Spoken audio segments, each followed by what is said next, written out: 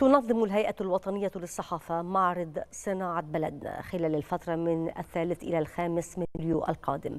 وسوف يعكس المعرض ما شهده قطاع الصناعة من طفرة في عهد الرئيس السيسي جعلته قاطرة للتنمية الاقتصادية وأحد أهم دعائم تحقيق الاستقرار السياسي والاقتصادي والاجتماعي.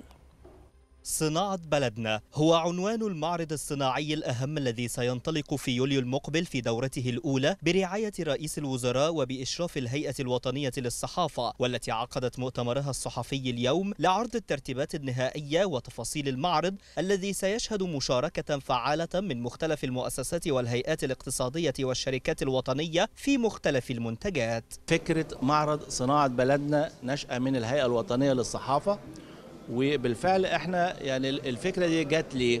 لأن في خلال الثمان سنوات السابقة إحنا شايفين الدولة المصرية بتشتغل في محاور كثيرة جدا. فاخترنا إحنا محور مهم وهو محور الصناعة. في طبعا محاور أخرى هنشتغل عليها برضو في محاور الزراعة هنشتغل عليها. فإحنا قلنا نبدأ بالصناعة. وبالفكر والفعل إحنا قعدنا كلنا مع رؤساء مجالس الإدارات اللي هم المعنيين وعملنا لجنة عليا على أساس إن إحنا نفكر عايزين إن إحنا نشوف جميع الصناعات المصرية اللي هي في خلال الثمان سنوات انشئت فاحنا عايزين إن إحنا نلقي عليها الضوء.